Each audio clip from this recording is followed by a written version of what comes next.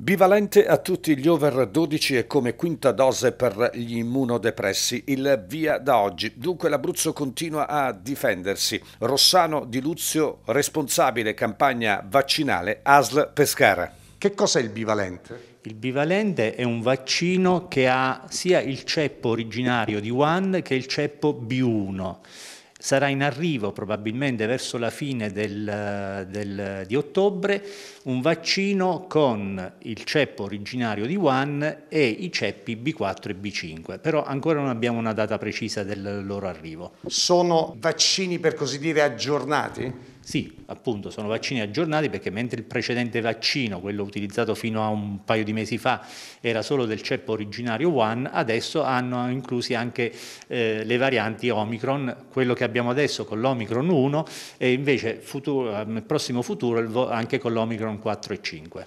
Ogni ASL naturalmente decide tempi e luoghi, l'ASL di Pescara si è data una sua eh, strutturazione. Sì, l'ASL di Pescara attualmente ha aperto un centro vaccinale qui nel comune di Pescara che è l'ex Lidl in via Colle Renazzo numero 11 che è aperto nei giorni di martedì, mercoledì, venerdì dalle 9 alle 13 e poi ha un'apertura due volte al mese eh, presso eh, Contrada Campetto negli impianti sportivi del comune di Penne. La quarta dose è necessaria.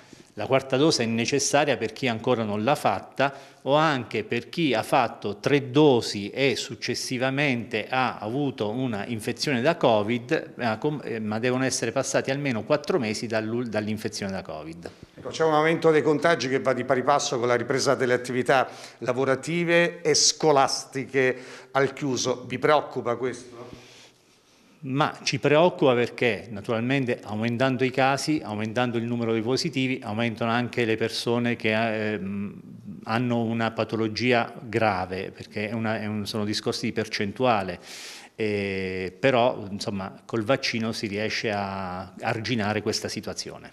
Cade anche l'obbligo, sta per cadere l'obbligo di indossare la mascherina sui mezzi di trasporto, eh, non sarebbe opportuno mantenere questa misura? Ma questo deve essere un obbligo morale di tutti quanti noi, è, è giusto che non ci sia più un obbligo giuridico, ma ci deve essere un obbligo morale per utilizzare la mascherina nei luoghi chiusi, nei trasporti, in ospedale, in tutte quelle situazioni dove ci può essere un assembramento di persone.